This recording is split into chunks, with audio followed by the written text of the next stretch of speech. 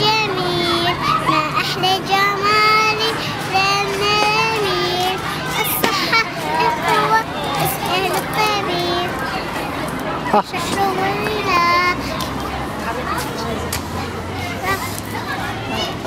زينب. زينب؟ عافية.